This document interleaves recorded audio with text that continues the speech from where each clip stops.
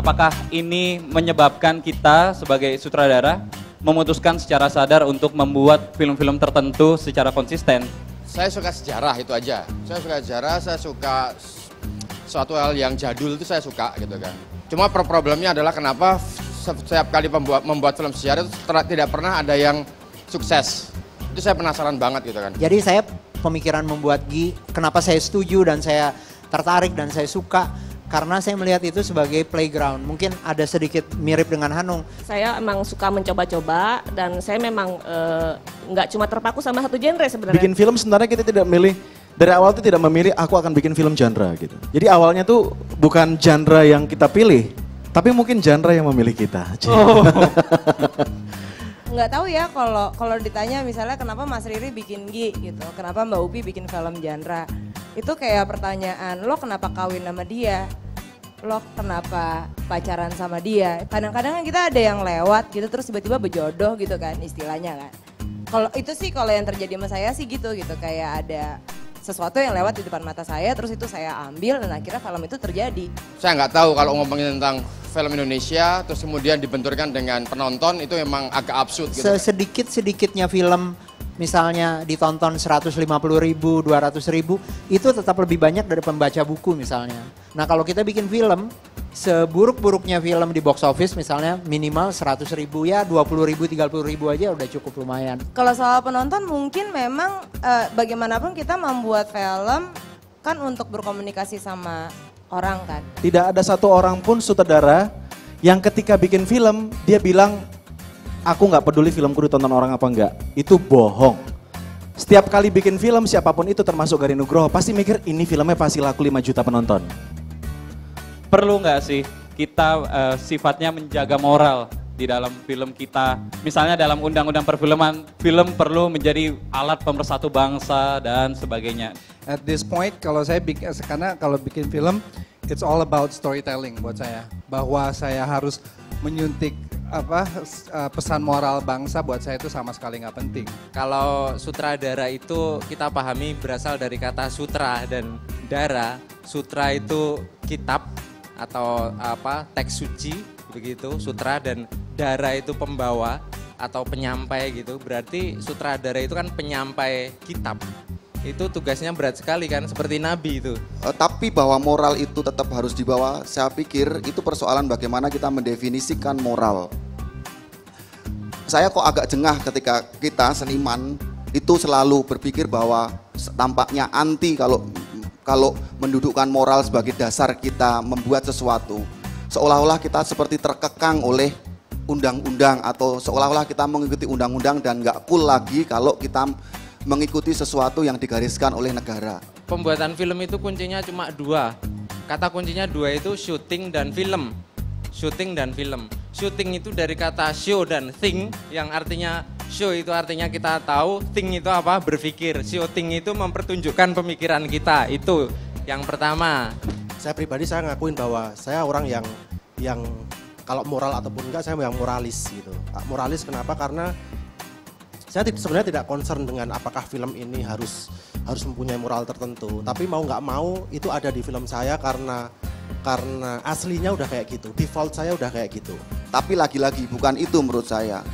Kalau kita sebagai generasi seniman muda tidak mampu mendefinisikan ulang moral menggunakan karya-karya kita ya sepertinya memang betul bahwa akan ada kelumpuhan-kelumpuhan selanjutnya untuk berbicara moral saya sekarang bikin film-film kecil yang yang not not big budget atau apa, tapi benar-benar punya kebebasan untuk berekspresi mau ceritakan apa yang saya mau ceritain aja gitu. Mau uh, mau itu tentang transgender, mau itu tentang masturbation, mau itu tentang apa, itu itu emang keputusan saya untuk bercerita seperti itu.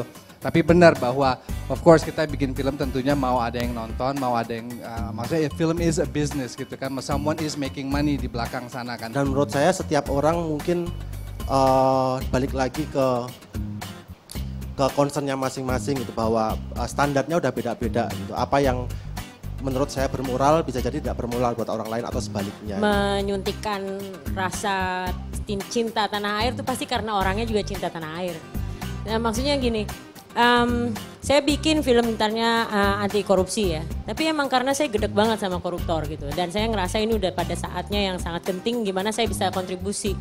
Dengan dengan dasar itu makanya saya mau bikin filmnya. Kenapa juga kita harus resisten pada moralitas?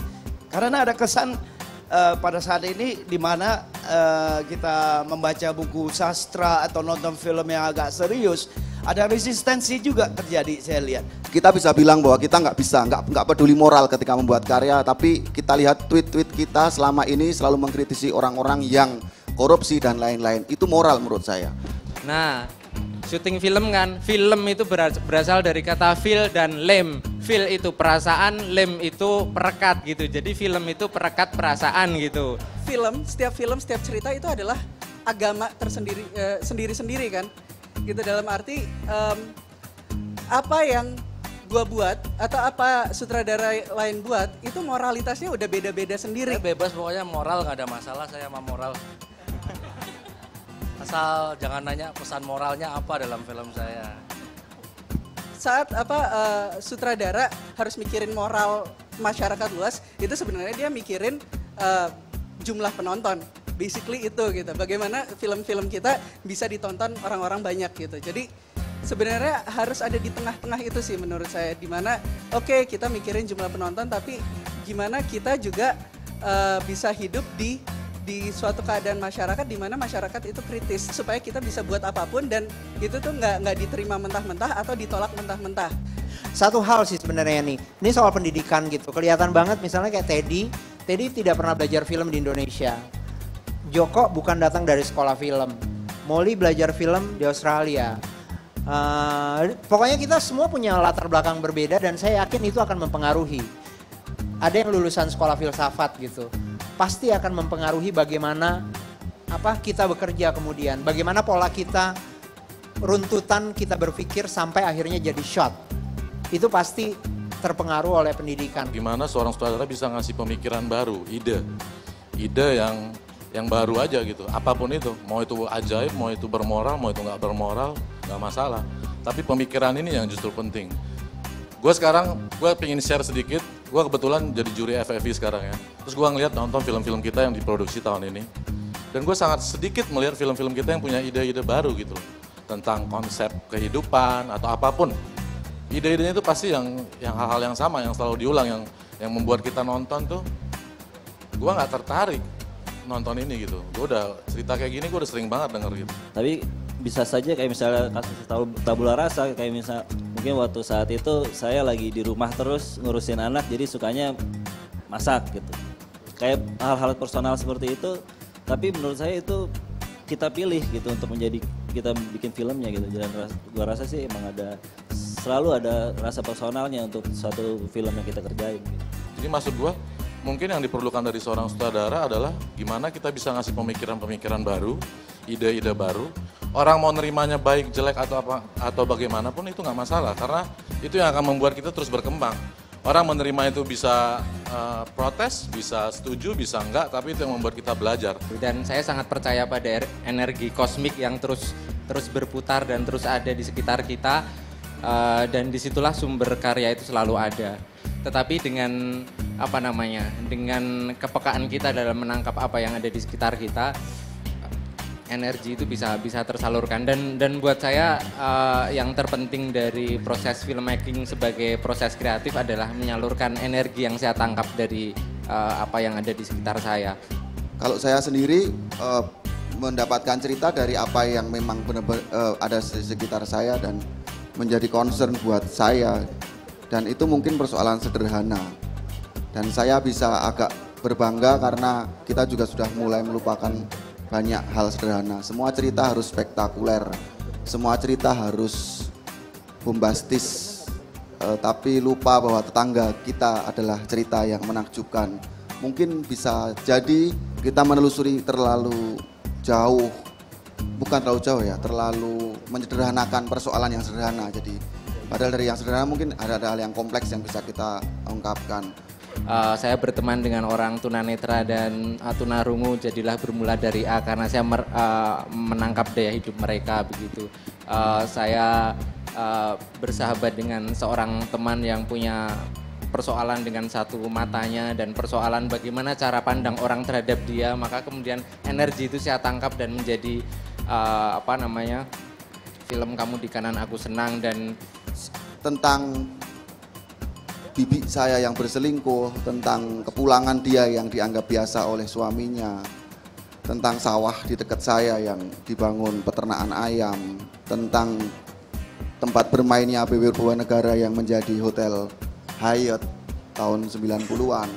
dan itu semua adalah uh, bagaimana kepekaan kita menangkap energi yang ada di sekitar kita gitu dan dan saya pikir kita harus meyakini uh, energi itu gitu dan ketika ketika uh, apa itu kita yakini sebagai sebagai sumber karya tidak penting soal baik buruk gitu soal soal dikotomi dikotomi itu gitu saya yakin bahwa uh, ketika energi itu dianggap dianggap sebagai satu bagian penting dari dari dinamika kosmik yang selalu menjaga dirinya dalam harmoni gitu itulah kebaikan Di Indonesia itu relatif sangat gampang untuk bikin film. Kenapa saya bilang sangat gampang untuk bikin film? Karena orang-orang yang tidak punya bakat sama sekali bisa bikin film dengan gampang. Jadi dari situ aja sudah bisa kita simpulkan ada tekanan nggak dalam membuat film? Nggak ada. Kecuali tekanan dari mafia di Glodok karena saya syuting tanpa izin di Glodok. Mau digebukin sama mafia Glodok. Sampai syutingnya pakai iPhone. Nah itu tekanan. Saya orang yang percaya apa yang Orson Welles bilang the art of apa the enemy of art is the the the, the absence of limitations gitu. Jadi saya perlu ada ada tekanan itu saya yang mencari. Kalau saya saya pribadi saya mencari mencari tekanan itu dengan mendorong lo mau ngomong apa kasar gini ada ada kegelisahan apa yang yang yang yang mau mau diceritakan gitu yang mau disampaikan gitu Karena apa sangat gampang? Pertama, karena pem- pe- pemberi dana, menurut saya, pemberi orang yang punya duit itu tidak memiliki pengetahuan film yang basic juga nggak tahu. Jadi film yang bagus mereka ketika dalam konsep mereka nggak tahu. Gitu. Yang kedua taste-nya jelek-jelek banget. Jadi ketika ada eh, sutradara atau penulis skenario yang menawarkan ide cerita, itu mereka nggak tahu ini jelek atau bagus. Jadi mereka terima-terima aja gitu. gue selalu tertarik dengan bagaimana ya kalau ada uh, uh, kelas menengah quote on quote kelas menengah ngehe harus berhadapan dengan anaknya yang bersahabat dengan orang yang berbeda ideologi dengan dia. Gue bergerak dari situ. Uh, gue bergerak dan dan gue merasa bahwa gue harus menceritakan orang yang berhadapan dengan problem seperti itu. Itu tekanannya ke gue gitu. Itu yang harus gue ceritakan. Ada orang yang bagaimana kalau sumpamanya di situasi seperti itu. Gue gue gue berusaha uh, uh, ditekan oleh cerita yang mau gue ceritain sendiri. Menurut saya kalau misalnya kita harus membuat edukasi di Indonesia, bukan cuman kepada sutradara, tapi juga kepada para pemilik dana. Karena di Indonesia kita tidak punya satu sistem pendanaan yang lebih eh, ajak gitu ya. Di sini semuanya private investors kan. Jadi random sekali. Semua orang kalau mau bikin film bisa cari uang sama siapa aja dan bakal diputar di bioskop.